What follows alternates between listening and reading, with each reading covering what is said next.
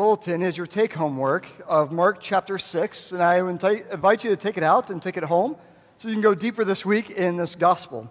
Also, is another celebrating life together of another uh, family that has joined our church in the last year so that you understand why people are joining and how they're getting involved.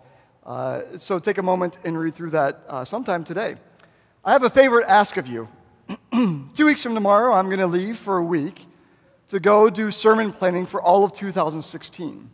Every year I do this, and I try to line out all of our sermons for the whole following year with outlines of each sermon and what we're doing. The way I do that is I spend an enormous amount of time in quiet and prayer, but I also love getting ideas from you, the congregation. What are things that we need to be addressing or preaching about, topics or scriptures that you want to hear about?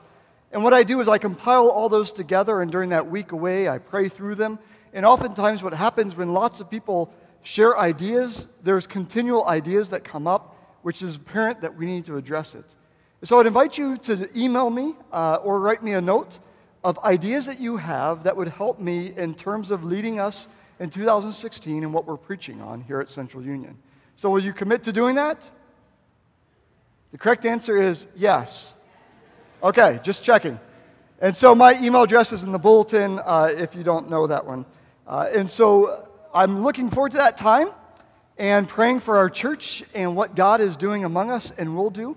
And so I would also ask and invite you to pray for me during that time as I try to discern what we're doing uh, in this year ahead. So, would you pray with me now as we begin our sermon time together? Our God, we are a thankful people for you have called us sons and daughters. We are thankful because you've given us these scriptures to inspire us but also to help us to question ourselves. Today, would you come and allow us to have the willingness to hear these scriptures afresh? Grant us the courage to be disciples for this world of ours today. And grant us the heart that we need to follow your call. For it's the name of Jesus, our Christ, that we pray. Amen. We live in a land marked by laws. The laws are for the common good of that which we should do or shouldn't do. But every once in a while, some laws get on the books that kind of make you go, huh? And so I wanted to share a few of the laws of Hawaii that may make you go, really? So, first law you will be fined for riding in the back seat of a passenger car without a seatbelt, but you can ride in the back of a pickup truck without any safety equipment, and that's okay. Anyone else find that bizarre? I can be in a car and be fine for not having a seatbelt, but I can sit in the back of a pickup and not have any problems with that. Another law. For some of you, this may be known, and others it may not. By law, you may only have one alcoholic drink in front of you at a time. Did you know that? By law, if you have two, naughty, naughty. Third, it is illegal to appear in public wearing only your swimming trunks. Think about that for a minute. It is illegal for you to be in swimming trunks on our island, at the beach. Anyways, this is, I'm sure, a concern of you. It is illegal to own a mongoose without a permit. And last one coins cannot be placed in your ears. That's illegal here in our great land. Apparently, it's a big problem with people putting coins in their ears around this place. But there is one law that I think makes great sense, and it says this Any person who in good faith renders emergency care without compensation or expectation of compensation at the scene of an accident or emergency to a victim of the accident shall not be liable for any civil damages because of it. The phrase that it's most often termed as is the law of the Good Samaritan. The law of the Good Samaritan has become enculturated in our culture. Every state has the law of the Good Samaritan. This biblical text that we are looking at today has influenced so many people to, in order for us to be inspired to be a people of assistance, of care, of help. See, laws aren't anything new in our day and age. Laws have always been around. And the people of Israel had 613 laws that they followed. It was called the Law of Moses. And of these 613 laws, many of them had to do with how they're to worship God, but also how they do life together. And so some of the laws were kind of silly, like you should not eat shellfish, or don't wear clothing of mixed fibers. But some of them were about how do we make whole broken relationships? How do we ensure that God is the one who we worship instead of the things of this world? And so the Israelites were a people of law. But what we've learned in the Israelite people and even today is that you can't legislate love.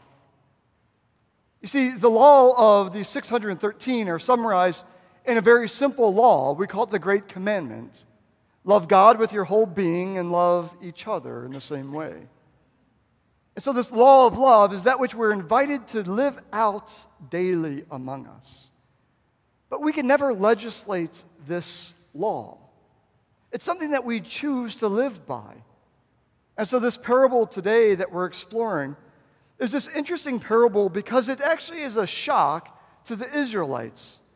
It's an affront to them. It's actually a slap in the face of the religious community. Did you get it? In the ancient world, there were two groups called the Samaritans and the Israelites. And the Israelites hated the Samaritans. They saw them as a lesser kind of people, as not as good as, and certainly not as capable of, being God's people. 700 years before Jesus' appearance on the scene, a split happened. And I want to read a little history about the Samaritans. Samaritans were descendants of a mixed population occupying the land following the conquest of Assyria in 722 BCE. They opposed the rebuilding of the temple that was destroyed and Jerusalem and constructed their own place of worship. They were seen as ceremonially unclean, socially outcasted, and as religious, they were considered heretics. The Samaritans were the very opposite of the religious community of the Israelites. And so Jesus is interacting with this religious expert, this one who is an expert in the law, and he's questioning Jesus how do I achieve this eternal life kind of thing? And Jesus asks him, Well, what do your scriptures say? And by this point, they had summarized all of the scriptures of the law of Moses and love God and love others. But then he tries to trick Jesus. Who is my neighbor? You see, the Israelites had a belief that their neighbor was their kinship, their community, the Israelites. Those were the neighbors that they were called to be kind and gracious and forgiving to.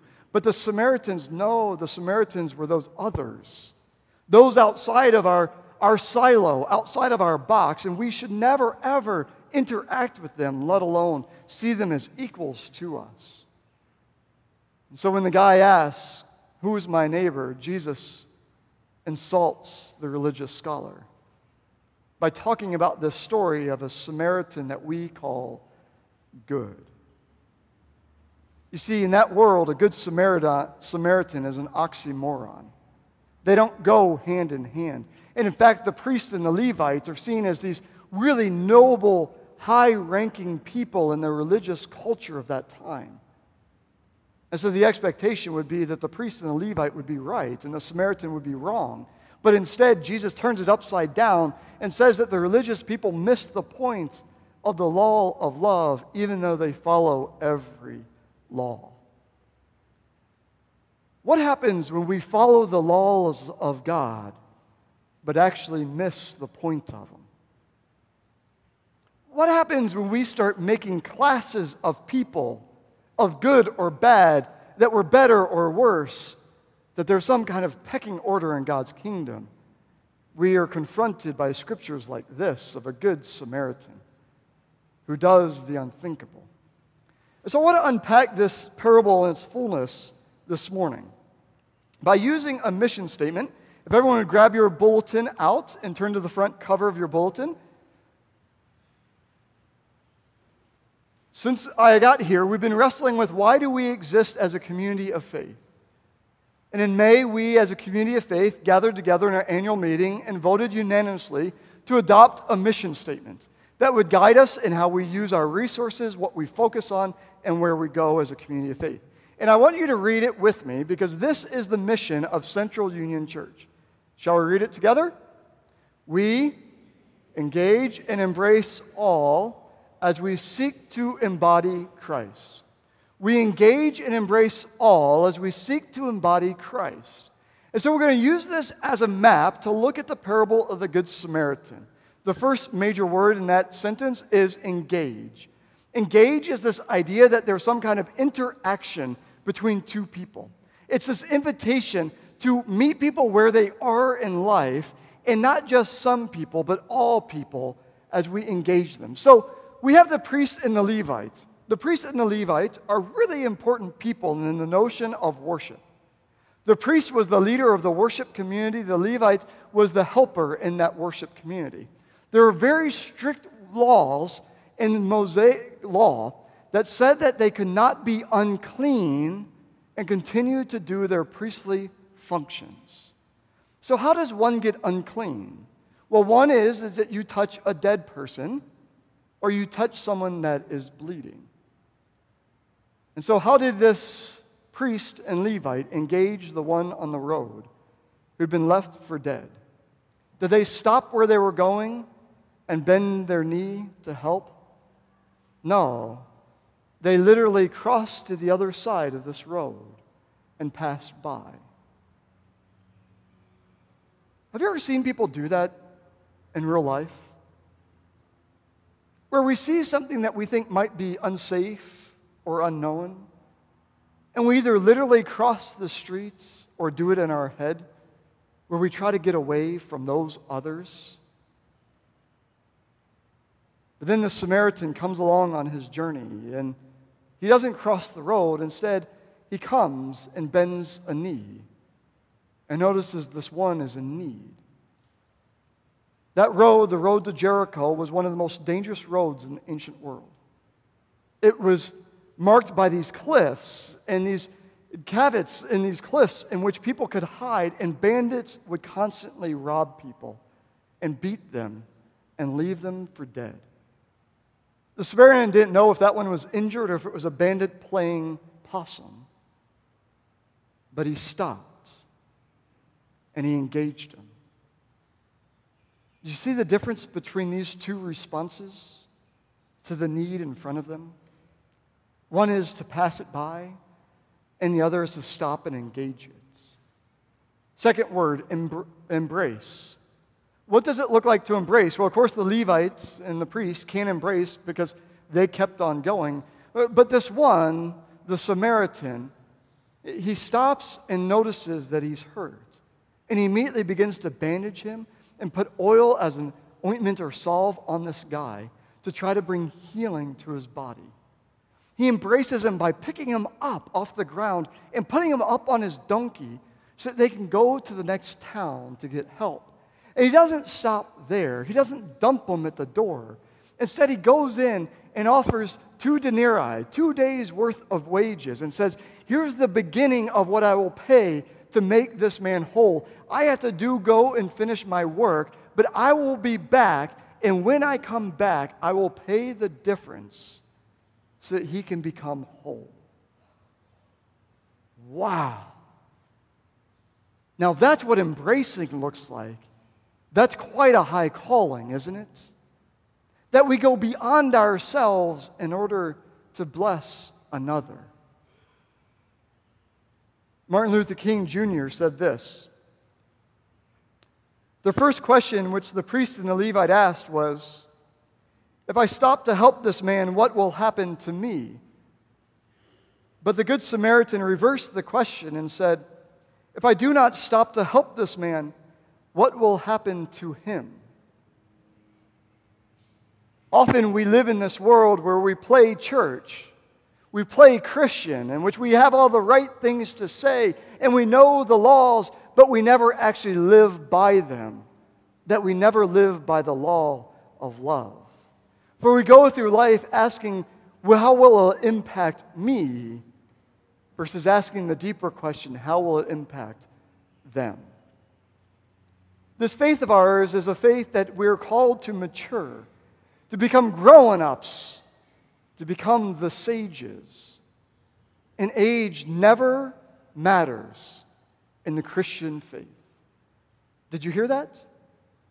Just because you're older than another does not mean that you are more mature in the way of Jesus Christ. Because I could be with a 10 year old or a 50 year old or a 90 year old who asks, What's in it for me? And that is not maturity. Maturity asks, What's in it for them? How may I help another? How may I bless them? So we're invited into seeing this scripture in a deeper way.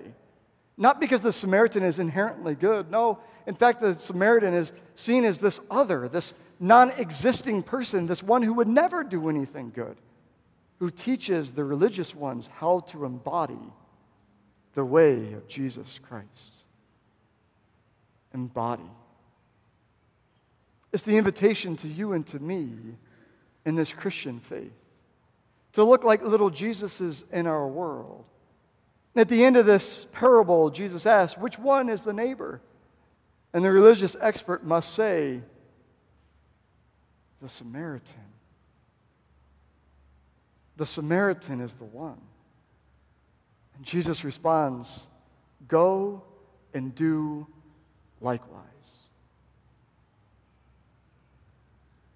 Yesterday was an interesting day around here. 50 women are gathered even today up in, at camp, retreating together on a women's retreat, growing deeper in faith and connecting with each other. And hopefully they'll come back to inspire us anew. Yesterday morning, our church gathered with three other churches in the community as a first step to hopefully helping this homeless situation that we find ourselves in. And so people could come and get medical care and clothing and toiletries and food but most of all, hope. And the question becomes of us how do we continue to equip people to get out of homelessness and have whole lives again? Then last night we had movie on the lawn right out here in which we watched Paddington. Have you ever seen Paddington, the little bear? It's adorable. We had some church families and we had a lot of people from around the community, and what was so neat was to watch our church families interacting with those that showed up, inviting them to come into worship and experience what they experience here as a part of this community of faith. You see, they were engaging and embracing and embodying last night, and yesterday morning, and on a retreat, and this week at weddings, and this week at a funeral, at the thrift shop. You see, we're called to live this out out of the law of love, that we do it because we're inherently called to be a loving people. And I guarantee you, it's not always easy to follow that call. For it's much easier to resort back to religiosity, if that's a word, in which we know all the right things to say and the right people to be around, but we never actually live it in our lives. What does it look like in our day and age to embody Christ with each other? For me, it's about a covenant the ancient biblical word of covenant. That just as we welcome new members into the covenant of membership, you and I are in covenant with one another and with God to support each other and to pray for each other, to lift each other up when we're down and to celebrate each other when we're up. We're committed to each other as a community of faith. And so today, my hope is that you'll make two commitments as a part of this community of faith. Number one is that we as a people follow the law of love that seek to make an impact and transform lives by living this faith of ours. In a few moments, we're going to sing a great hymn They will know we are Christians by our love. And love isn't an emotional thing, it is an action thing. How we live our lives exemplifies the kind of love that we believe in. And secondly, we as a community of faith pull out our golden tickets that you'll find in your pew rack in front of you. And that today is Commitment Sunday, that we commit to each other, but most importantly to God, to support the mission of this church. Because we now know what it is to engage and embrace all as we seek to embody Christ. And we're going to invite you to fill it out, or if you've already done that, to bring up a blank one and put it into the calabashes in the front as a sign and a symbol that you are partnering with each other and with our God to accomplish the mission among us. You see, we need every hand in the boats to be rowing, to get to where we need to go. And I believe in what we saw last year and what we're seeing this year, that you all are hearing it and heeding that call and leading the way. My wife and I filled this out already, and so we're putting in a blank one because we made a commitment on the first day that we're in this boat with you. And my hope is that you will make a commitment as well. And so, in the moments that follow, Margaret's going to play the chorus of our hymn that we will sing. And in a few moments, we'll sing together the hymn that's found in your bulletin. So, may one and all of you come and commit to God and to each other this morning.